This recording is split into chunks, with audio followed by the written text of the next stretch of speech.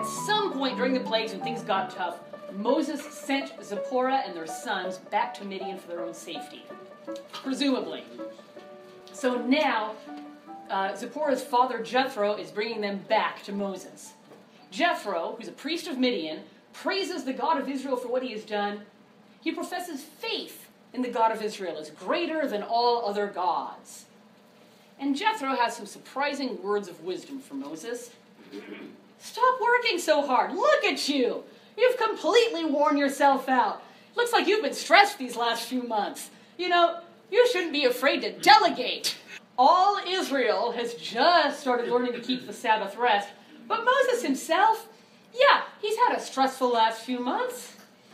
And he's still having trouble with the whole work life balance. He personally has been trying to keep everyone happy and solve every problem in camp, and he can't do it. Jethro urges him to set up a formal court system with lower courts and higher courts and a court of appeal, and you're the one man Supreme Court. Do it. And Moses does. When God gives us a task that seems too big for us, maybe that's because it is. Don't be afraid to delegate. Ask other people for help and let them in on what God's doing. Then, three months after leaving Egypt, the Israelites reach Mount Sinai. God speaks to Moses and proposes a covenant with Israel. He says, If you obey my voice and keep my commandment, you shall be to me a kingdom of priests and a holy nation. The elders of the people agree. What did they just agree to? Well, they agreed to obey God and worship Him alone. And in response, God will do great things with them. He will make them holy. He will give them His commandments and teach them to walk in His ways.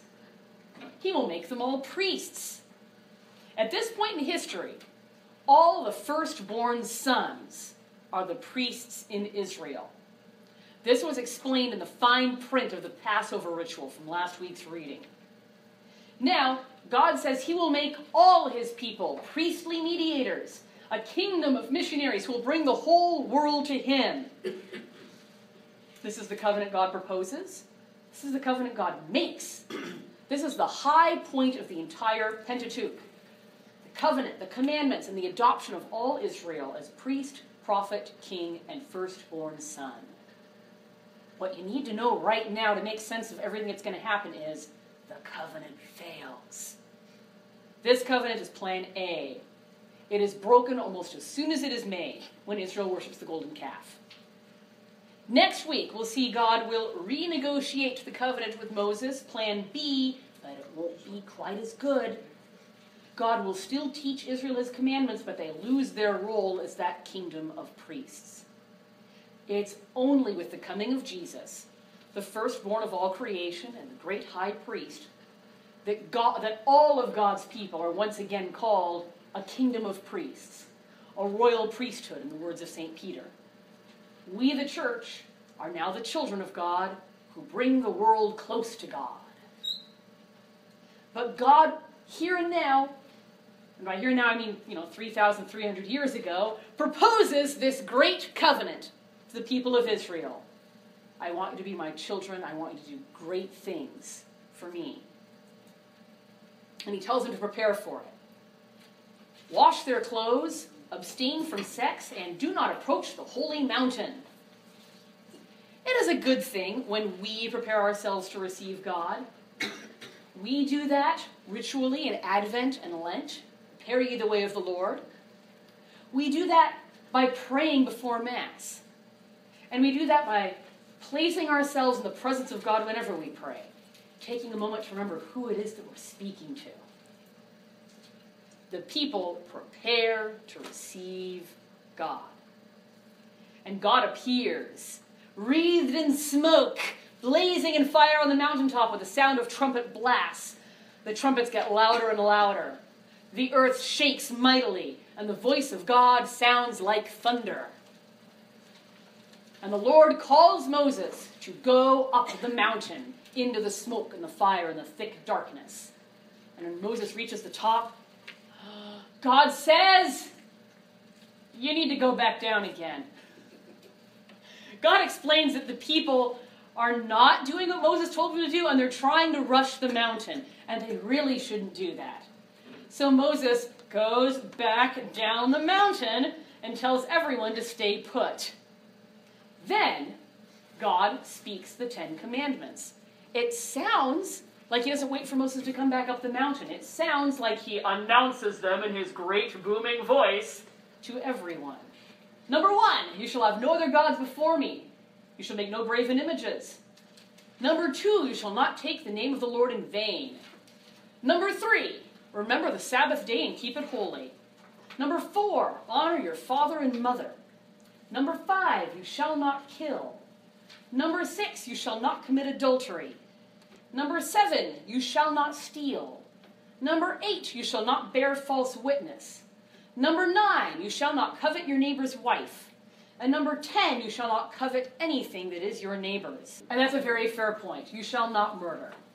For example, there's, there's no prohibition against, say, killing a lamb in sacrifice. Or killing in war. Or killing in war.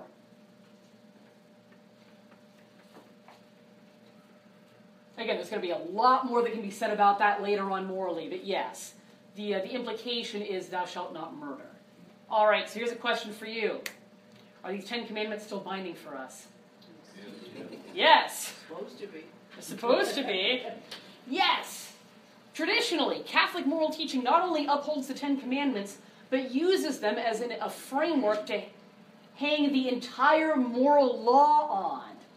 When you're teaching the catechism, whether to adults or children, you teach the moral law by going through the Ten Commandments one by one and uh, listing how we are supposed to live. What is the best way to live? At great length. Um, think of how Jesus taught. Moses says, Thou shalt not kill, but I tell you that anyone who is angry with his brother will be subject to judgment. So, thou shalt not kill doesn't just mean that. It means everything related to that. That's the way the catechism, that's the way Jesus treats it. That's the way the catechism treats it. And I took one example from the catechism to give you the idea. Number one, you shall have no other gods before me, you shall make no graven images. What does the catechism have to say about that? Plenty. We owe God worship, prayer, and sacrifice. The sacrifice of our lives, we bring ourselves to Him. We must not commit heresy, apostasy, schism, despair, presumption, indifference, ingratitude, lukewarmness, acedia or spiritual sloth, hatred of God, superstition, idolatry, divination, magic, sacrilege, atheism, or agnosticism. It goes off on how religion is good for public life and how freedom of religion is good. What about graven images? Idols are still prohibited. But the Seventh Ecumenical Council back in 787 decided that sacred images became permissible upon the coming of Jesus Christ because Jesus is the image of the invisible God. That kind of shattered that prohibition once and for all. Now, for us Christians, icons of Jesus, Mary, and the saints are a great way to pray. Statues of the saints inspire piety, and even Protestants have picture Bibles with Jesus in them. Now, we could go through this with all Ten Commandments, but we'll do that with the Catechism class this spring. Here's another question How do we know which parts of the law of Moses are still binding on Christians and which are not? Uh, the moral law is still intact, and anything to do with the sacrificing at the temple, food kind of preparation are all null and void. You're good. All right, three different kinds of law. Write them down moral, civil, and ceremonial. The ceremonial laws, I'm sorry, yeah, the ceremonial laws describe ritual worship. We will get into those next week. We're not touching them tonight. The civil laws are pretty easy to identify because they have specific penalties attached to them. It's something like if, if an if an ox gores a man and kills him, then the owner of the ox will not be held responsible, but the ox shall be put to death. You know, it's got all these very specific provisions for if such and such a thing happens here's the penalty, here's the way to deal with it. That's the civil law. And the civil law, like James said, it's got all the it's got all these penalties and prescriptions attached to it. So these laws are to regulate the community. You know, they're the equivalent of you know the speed limit. They're the laws you have to keep to keep order in society. Now, the civil laws and the ceremonial laws are provisional and imperfect. Jesus makes this very clear. Jesus transcends the ceremonial law. Think about how he takes the Passover meal and completely changes it into the Eucharist. Think about the disciples walking through a wheat field, eating heads of wheat on the Sabbath. And the Pharisees go, mm, You're picking grain on the Sabbath. And Jesus says, Yes, just like David did. Jesus transcends the civil law. He walks up to the woman caught in the act of adultery and says, Whoever is without sin, cast the first stone. And they all look at him drop their stones and walk away. The penalties that people who commit adultery should be put to death. Jesus is releasing her from the penalty. He can do that. And also, this is civil law. Well, Jesus is also forgiving her sin. Now we have come to the moral law. The moral law stands forever. And Jesus says, Whoever teaches one of these little ones to sin, it is better if you were to have a millstone put around his neck and be thrown into the sea. The ceremonial and the civil law were provisional and temporary. The moral law stands forever. When God gives the Ten Commandments, what is the reaction of the people? The people were afraid and trembled, and they stood afar off. Were they terrified of the law? Maybe. But what really seems to terrify them is being in the presence of God and actually hearing God speak. How do we react when we hear God? One thing about asking God questions and listening for his voice or being still and waiting on him is that when we hear him, we need to do what he says. We can't say, oh, that's a nice idea. Maybe that came from God. Maybe that was my own imagination. Thank you for your input, O Creator of the universe, if that was really you. It doesn't work that way. The quickest way to stop hearing from God is to stop following his nudges. So, the people say to Moses, You speak to us, and we'll listen to you, but do not let God speak to us, lest we die. Moses says, Do not be afraid. God wants to place the fear of him before your eyes, that you may not sin. Why does God want his people to be afraid of him? Well, the Bible says that the fear of the Lord is the beginning of wisdom. And these people are at the very beginning. God knows that they're at a very low level of moral and spiritual development, and He hopes that He can at least deter them from serious sin. While I was reading this passage, I thought way back to uh, those college classes in psychology, and specifically to Kohlberg's stages of moral development. Number one, obedience and punishment.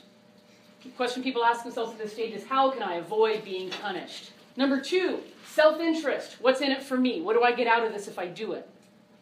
Number three, conformity.